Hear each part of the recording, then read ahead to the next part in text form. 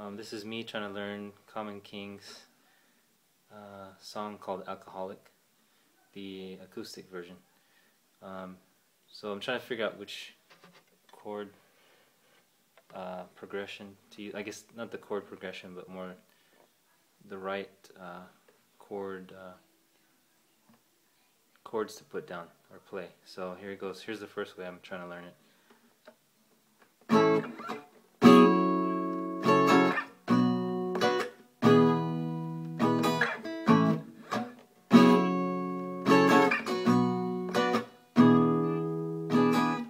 So you notice that fourth fourth chord. This is an E7, just different way than um, the lead guitarist plays it, but it sounds about the same.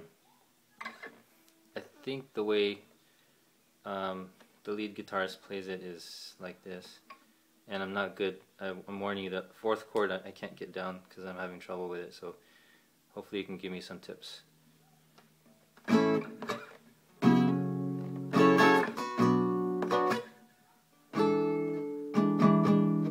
I'm having trouble with. I think that's how you play it.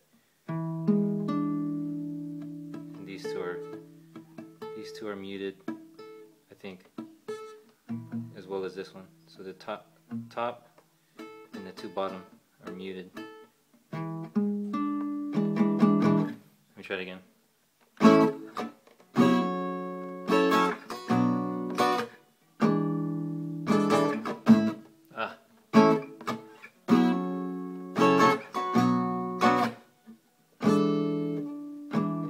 Can't get that second way. So, um, any tips, um, advice on getting this this chord down? I think it's E7 also. Or if you like the way I played it, that last chord just sounds higher, but it sounds just as good. All right. Thanks. Peace.